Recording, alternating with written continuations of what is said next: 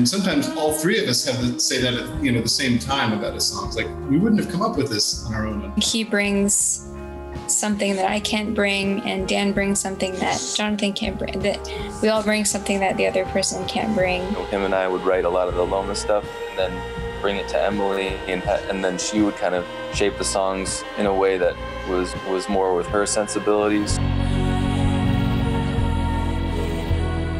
It's always nice with Brian Eno on backside of an album. How was working with him? Well, the funny thing is that uh, you know we never spoke. I communicated with him entirely through his manager. We sort of built the house, and then he put all the finishing touches on it. What is the other job? I am what's called an end of life doula. A lot of it is just companionship and making sure that their space is peaceful for when they go.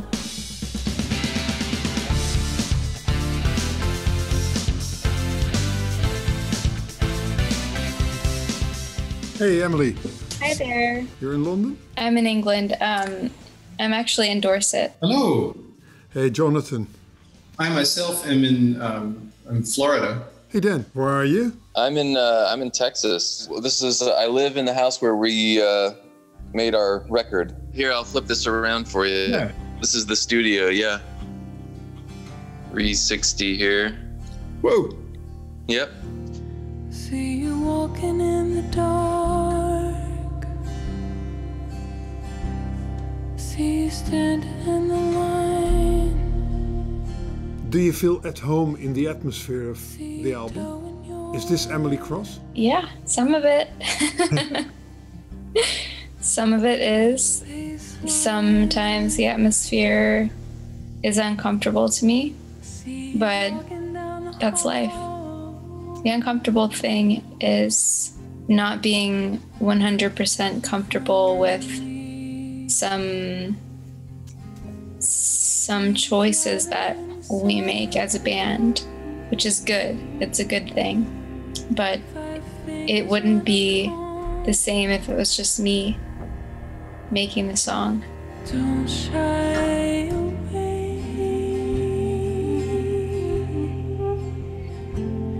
Don't shy away. When we're working together, often when we get you know well into a song, we'll have a moment where somebody steps steps back and says, you know, I never would have made anything like this on my own. And sometimes all three of us have to say that at you know the same time about a song. It's like we wouldn't have come up with this on our own on purpose, and yet that combination is, it yields that result. How do you experience working with Jonathan Meiburg, who is quite experienced in the business already? He recorded some some 10 albums with Shearwater.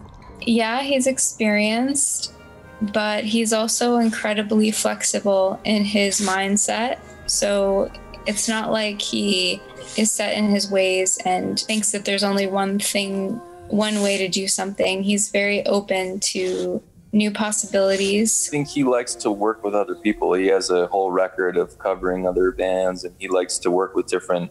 He likes to collaborate. I'm glad that I could find a, a working relationship with someone like that. Don't shy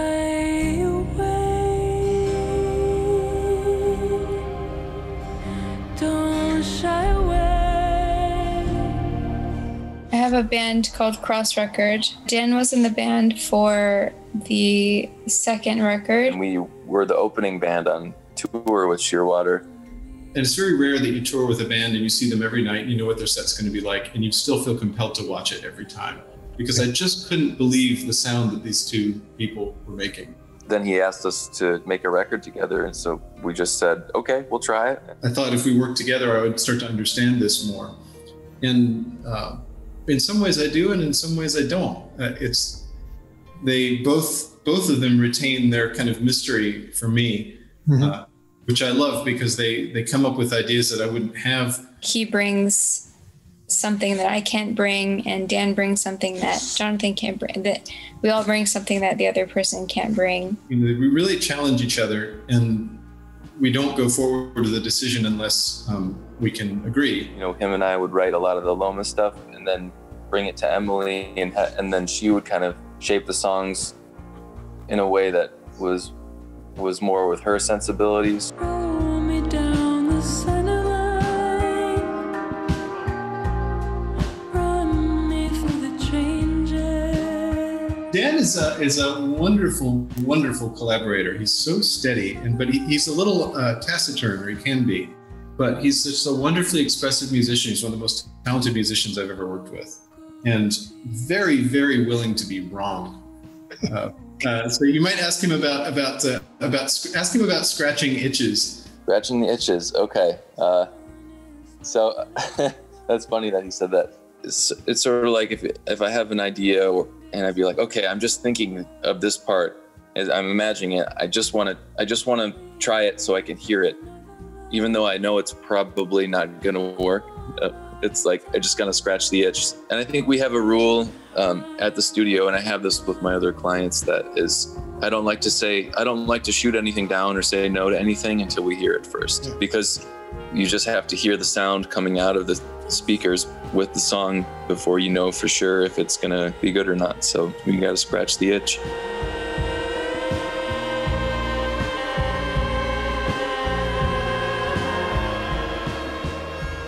What is the story of the song Osotillo or Osotillo? How do you pronounce it? I've mostly heard it been said like ocotillo. It's a plant. It's a desert plant. If you ask Jonathan about it, he can probably give you a a history of the plant and everything. It's sort of a cactus-like plant uh, that grows in, in, in the southwestern U.S. and Mexico, uh, Yeah. in arid regions, and it um, it looks like just a, a, a set of stalks that are covered in thorns, and it looks basically dead, uh, except when it rains, which in those places it does very frequently. But when it does rain, um, it just suddenly comes to life, um, very briefly, and then goes back to it, you know it seems to die again, and waiting for the next rain.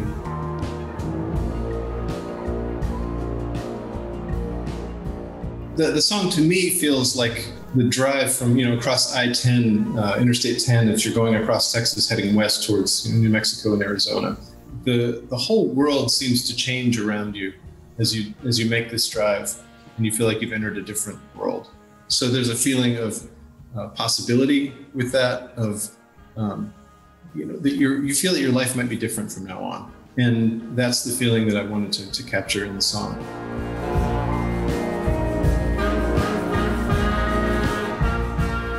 Would you normally be on a tour? Yeah, maybe we might be on tour if it weren't for the virus. How do you describe 2020 yourself? A test in many ways and uncertainty. We have a sense of security normally that isn't there anymore, at least for me. Is that a financial thing or is people? Yeah, my job my job is dealing with people, so not not music, but my my day job. What is the other job? I am what's called an end of life doula. So I work with those at the end of life. I help them get everything in order and I help their families and I sit with them as they're dying and then I uh, I mean I can look at a lot of different ways, but a lot of it is just companionship and making sure that their space is peaceful for when they go mm-hmm. and then helping with arrangements afterwards and that kind of thing. Wow. Yeah. So, what do you learn from that job? Many stories, Oh, of course. You hear a lot of Oh. stories. So much, yeah. The main thing I've learned is that, well, the main thing I've gained is just, I guess, a more positive outlook on my life, and and I do what I want. If I want to do something, I'll do it because I don't know when I'll be able to do it again, within reason, of course. But yeah, I'm a much happier person now.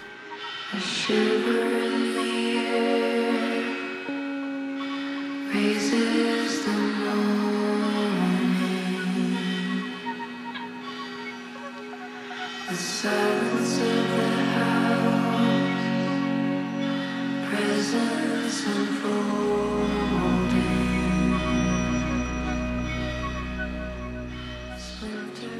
It's always nice with Brian Eno on the backside of an album. How was working with him? Was it a different level?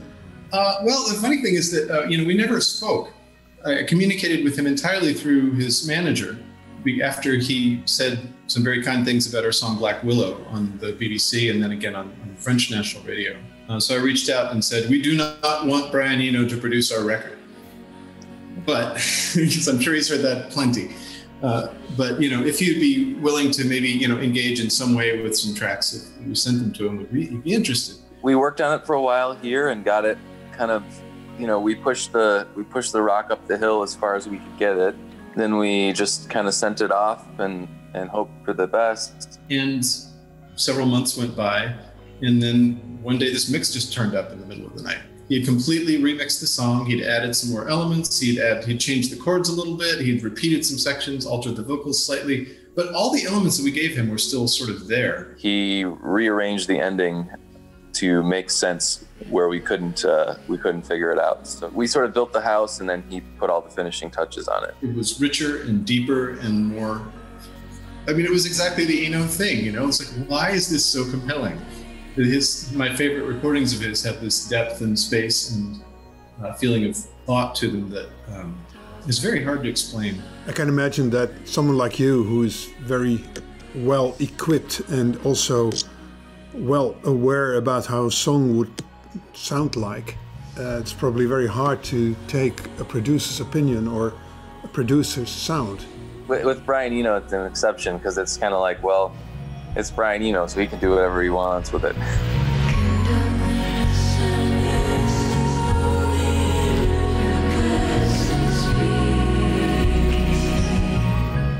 This feels like a band that's very close, and the sound is also us. It's us doing songs and us being a band. Yeah.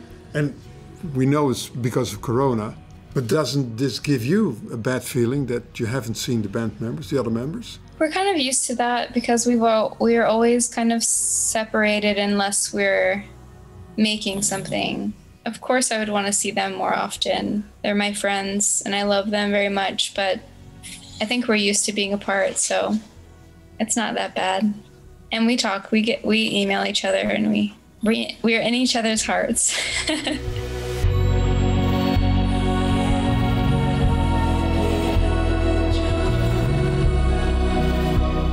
Well, thanks very much for your time. Thank you, sir. Bye. bye bye. Bye. Thank Bye. you. Bye. Thank you very much.